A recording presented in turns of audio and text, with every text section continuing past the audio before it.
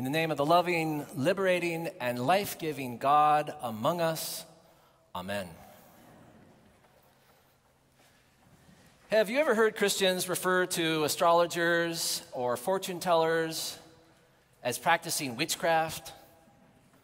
Or heard preachers such as the Pat Robertsons and Franklin Grahams of the world refer to Eastern religions as demonic? Harsh rhetoric to be sure. But it's actually progress, considering we once burned people at the stake for having such beliefs. All of which makes today's gospel all the more remarkable because it is these wise men or magi. It is they who are the quintessential strange mystics from the East astrologers, magicians, Zoroastrians. We don't know for sure who they were. But Matthew has no problem making them the heroes of our gospel today. When Christ is born, Matthew makes clear that he is immediately in danger. But it is this group of strangers from a strange land, non believers who follow stars and listen to dreams who end up saving the day. By telling us the story of the Magi, Matthew is making a huge point that can often elude us. And that is that no one, no one is outside of God's love. And what's more, Matthew seems to be suggesting suggesting that even those outside the church, even those without the scriptures, can sometimes seek and find God better than those within it. After all, it's the Magi who fall to their knees in reverence when coming face to face with Christ. While Herod, who built the temple, who was at least publicly religious, begins to plot his death.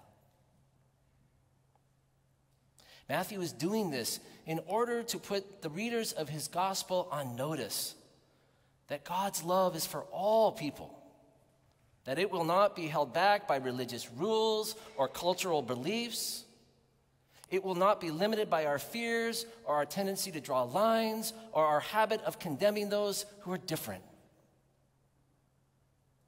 Matthew is trying to tell us that the gospel pronounces once and for all, for all time, that all people are part of God's family. No conditions, no exceptions. And I find it find it so remarkable that this fundamental idea, this universal, unconditional love of God for all of God's children, that lies at the heart of the Genesis story, that fueled the prophets, that is at the center of everything that Jesus did and tried to teach us, I find it remarkable that it's a lesson that the church still, still struggles with. The enormity of God's love, the boundlessness of His grace, the endless ocean of His mercy. It has challenged the imagination of believers since the very beginning. Could it really be true? Could God's grace really be a gift? Could God's love really be my birthright? Could all really mean all? It's all so contrary to the ways of the world that it can be hard to believe. And so, as time went by, we couldn't help but add some of our own requirements some of our own conditions, attaching strings wherever we could.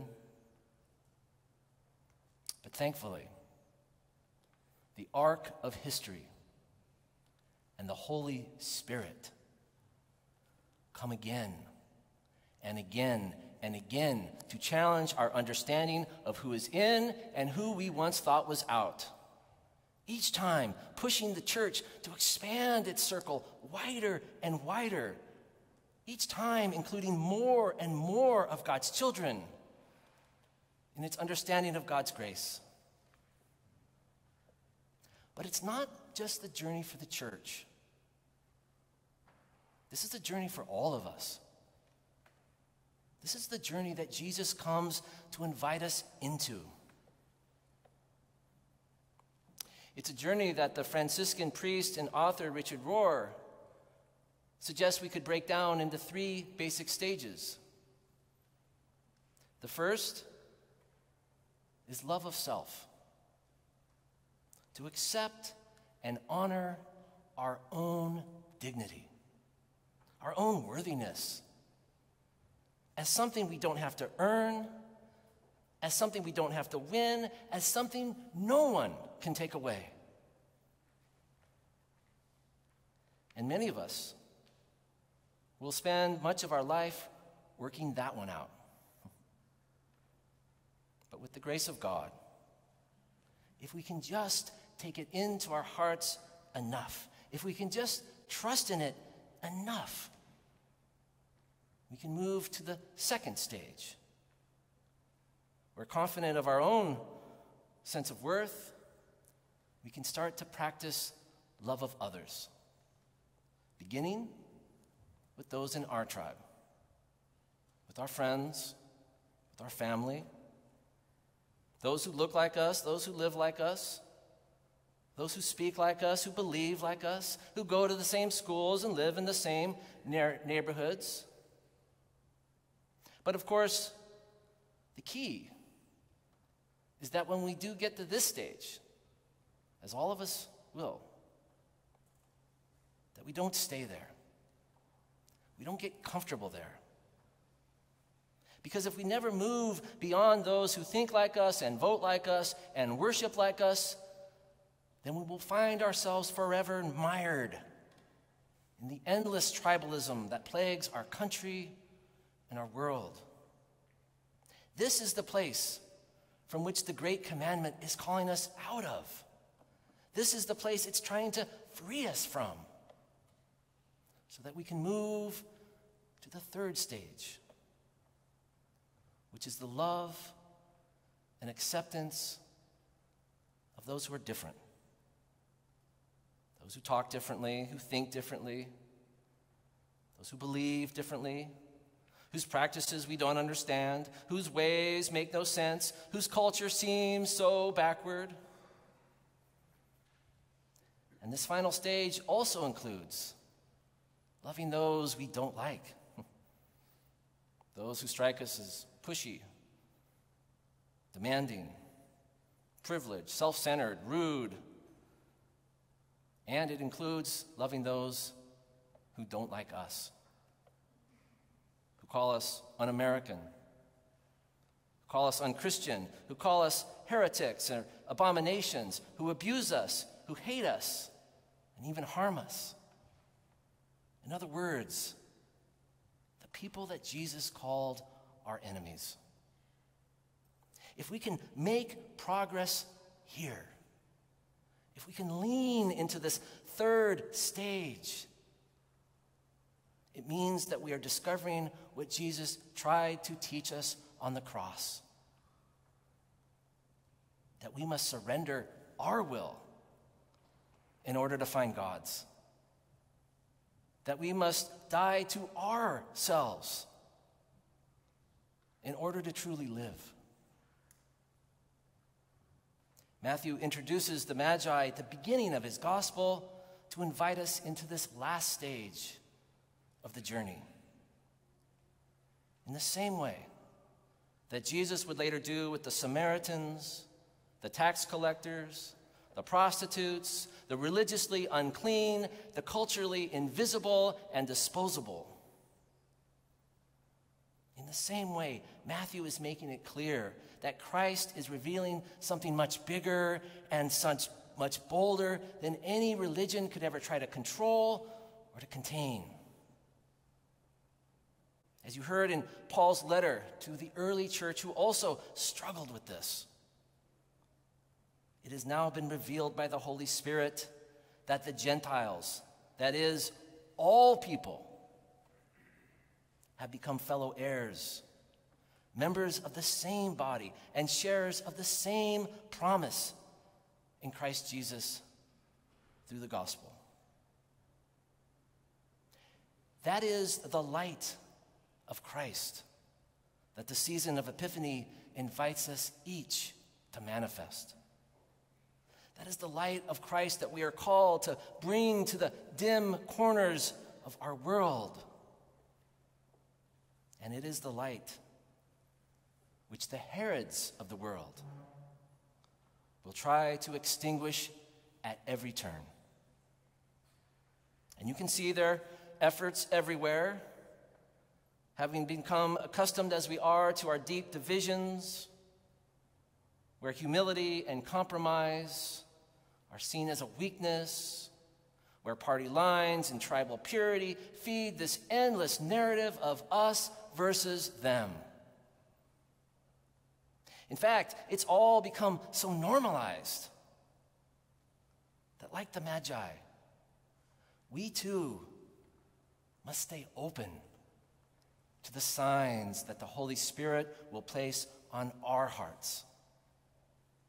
Because the Herods of our world come disguised, disguised as normal life. But you can always spot them because no matter the names they go by, no matter the credentials they might have, no matter their celebrity, no matter the wealth they wield or the power that they might have, at the end of the day, in one way or another, the Herods of our day always come to defeat love. Very love that sadly they themselves need as much as anyone. And so they come instead to divide us, to scapegoat us, to pit us against one another. They come as the voices who tell us that some matter more than others, that our fears of the other are somehow justified, that our prejudices and our judgments are somehow sanctified. They come to foster comparison and rivalries, to keep us focused on the need to be right and our need to win, our need to be on the in crowd, and remain blind to those left out. They come to turn life into a treadmill, driven by competition and scarcity and forever trying to keep up, keeping us busy and so exhausted that we actually can become isolated, running so fast to keep from falling down. We miss out on our own humanity by missing out on one another's. In fact, if we are honest, the Herods of our day are just as likely to be us. Whenever we get so lost in his system, so caught up in it, that we forget that we are called to change it. We are called to stand against it. We are called to stand with anyone who's been beaten down by it. As we begin this Epiphany season, my prayer is that we would also follow in the footsteps of these strange magi from the east, let us also bow down and pay homage to the enormity and the majesty of God's grace. Let us be in awe of it as well, so that we might take Christ's light into our hearts and find the courage turn our backs on Herod as well. as we begin this new year, let us also leave by another road and look for Christ in the face of strangers from strange lands, in the face of our enemies close at home, whose ways are not our own, whose beliefs we don't understand, but whose image we share. So that the Lord might rise upon you and God's glory appear over you so that nations come to your light and kings to the brightness of your dawn. Amen.